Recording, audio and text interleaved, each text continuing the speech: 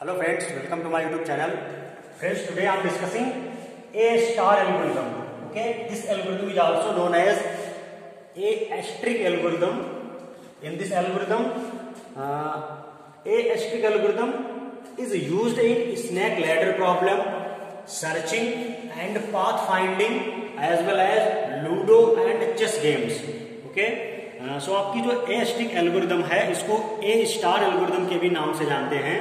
ये algorithm artificial intelligence में use होती है, ठीक है?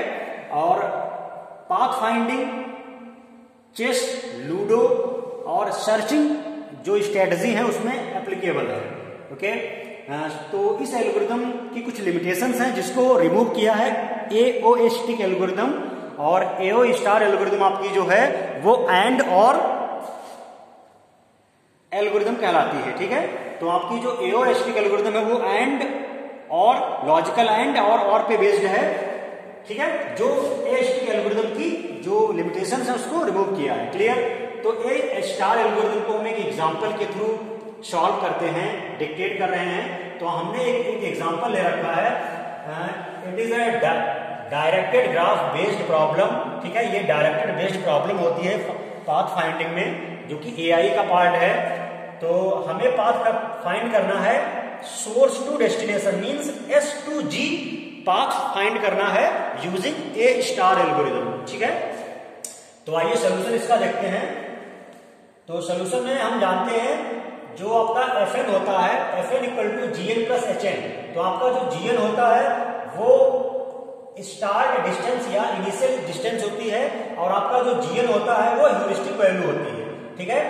जीएन को जी लिख सकते हो और एच एन को आप एच लिख सकते हो, ठीक है? और एफ़ एन आपका एफ़ है तो ये फॉर्मूला आप इस प्रकार से मिनिमाइज करके लिखा जा सकता है क्लियर तो एफ़ आपका क्या है? पाथ फाइंडिंग का फ़ंक्शन है। जी स्टार्ट स्टेट डिस्टेंस है, या आप कह सकते हो इनिशियल स्टेट वैल्यू है, और एच आपका ह्यूरिस्टिक वैल्यू है ओके जो आपको इस न्यूमेरिकल में या ग्राफ के माध्यम से दिया रहता है, ठीक है? तो आप ये देख सकते हैं आपकी ह्यूरिस्टिक वैल्यू है। ये स्टेट्स हैं S A B C G इसके करस्पॉन्डिंग में ह्यूरिस्टिक वैल्यू दे रखी है seven six two one and zero okay तो यहाँ पे आपको जो इनिशियल डिस्टेंस दे रखी है S to A is one S to B is four A to B is two A to G is twelve A to C is five B to C is two and C to G is three okay so now we have to find out the path from S to G okay तो path from S to G there are four cases S to G पहुँचने के हमारे पास चार cases हैं। पहला case है S to A और ए टू जी ओके दूसरा केस आपका है S to A A to C और सी टू जी क्लियर तीसरा केस है S to A to B B to C C to G clear इसके अलावा fourth आपका केस है S to B B to C C to G तो सभी cases में हम ये कैलकुलेट करेंगे कि पाथ में डिस्टेंस कितनी आ रही पाथ किसमें ऑप्टिमम आ रहा है। ठीक है, जिसमें सबसे कम होगा, वो एक्चुअल पाथ होगा S to G mean source to destination वो हमारा आंसर होगा। ठीक है तो चारों केस का हम निकाल के देखते हैं।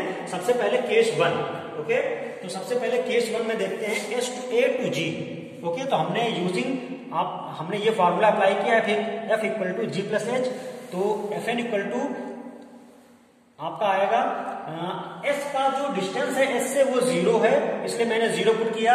एस टू ए वन है, इसलिए वन पुट किया। और A to A to A to G A to G आपकी ट्वेल्व है, इसलिए मैंने ये ट्वेल्व पुट किया है, ठीक है? तो ये आपका जो पूरा zero plus one plus twelve, ये आपका जीएन ए जीएन काम कर रहा है, ठीक है? तो ये आप जीएन है और जो ह्यूरिस्टिक वैल्यू है जी की, वो ज़ीरो है। आप जी की ह्यूरिस्टिक वैल्यू देख सकते हो, ज़ीरो है, ठीक है? तो ये मैंने पुट कर दिया, ओके? तो फाइनली आपकी एफ़ एन की वैल्यू आ गई ट्वेल्व प्लस वन थर्टीन। तो आपकी जो इस पहले केस में पाथ आया है पाथ में डिस्टेंस आई है एस टू जी ठीक है? वो थर्टीन आई है S to A to G तो पहले केस से निकल के आई है डिस्टेंस 13 अब केस टू में देखते हैं। केस टू आपका है S to A A to C C to G तो इसमें भी जीएन निकालते हैं। तो इसका जीएन क्या होगा? एस टू एस ज़ीरो होगा एस टू ए होगा आपका वन और ए टू सी होगा five okay A to C five और सी टू जी आपका होगा थ्री ठीक है? तो ये पूरा आपका जीएन हो गया और जी की जो ह्यूरिस्टिक वैल्यू है वो हमेशा ज़ीरो है। तो इसका जो फाइनल आपका एफ़ एन की वैल्यू आई, वो five plus three eight plus one nine तो ये आप इस केस नंबर टू में नाइन डिस्टेंस आई है, ठीक है? सेम अप्लाई करेंगे केस नंबर थर्ड में। तो केस थ्री में देखिए केस थ्री में जो पाथ है वो S to A A to B B to C C to G okay तो इसमें आपका जो इनिशियल डिस्टेंस निकल के आएगी जीएन की, वो S to S zero S to A one A to B two B to C two और सी टू जी थ्री तो ये आपका पूरा जीएन हो गया और एच एन की वैल्यू यानी ह्यूरिस्टिक फ़ंक्शन की वैल्यू आपकी जी की ज़ीरो है, इसलिए ज़ीरो मैंने पुट किया। आप टोटल ऐड कीजिए तो आएगा आपका two plus two four plus three seven plus one eight तो ह्यूरिस्टिक वैल्यू आपकी अप्लाई किया इसमें जब केस थर्ड में तो टोटल डिस्टेंस जो निकल के आई है, वो एट निकल के आई है, ठीक है? तो केस थर्ड से path from S to G is eight okay now fourth case में हम देखेंगे तो फोर्थ केस में जो डिस्टेंस है, वो S to B B to C C to G तो इस केस में जो आपका जीएन है, वो S to S zero S to B four और B to C two C to G three तो ये आपका पूरा जीएन निकल गया है four plus zero plus four plus two plus three ये आपका जीएन हो गया। और एच एन आपका जो जी की ह्यूरिस्टिक वैल्यू है, वो है ज़ीरो तो टोटल आप काउंट करोगे तो four plus two six six plus three nine तो फाइनली जो पाथ निकल के आया है एस टू जी वो नाइन निकल के आएगा केस नंबर फोर से। तो from among cases one two three four सबसे ऑप्टिमम सबसे कम जो डिस्टेंस निकल के आई है, वो केस थ्री में मींस एफ़ एन की वैल्यू एट आई है, जो कि सबसे कम है। इसलिए source S to source S to destination यानी गोल जी तक जो पाथ होगा, वो S to A A to B B to C C to G तो ये आपका ऑप्टिमम पाथ होगा और आप इसका जो आंसर है वो एट निकल के आएगा। एस टू जी जो पाथ निकल के आएगा, वो S to A A to B B to C C to G यही ऑप्टिमम आंसर है तो path from S to G is eight answer okay so आपकी A star algorithm sometimes it called A asterisk algorithm is the fundamental of A O algorithm ठीक है? तो ये algorithm आपकी searching path finding ludo and chess type के जो games होते हैं, उसमें एप्लीकेबल है। और इस प्रकार के क्वेश्चन आपके एनटीए नेट और जो डीसीआईओ का एग्ज़ाम होता है आईबी से रिलेटेड तो उसमें पूछे जाते हैं। तो आप हमेशा याद रखना कि जो ह्यूरिस्टिक फ़ंक्शन है, वो एडिशन होता है ए स्टार एल्गोरिदम में, ठीक है?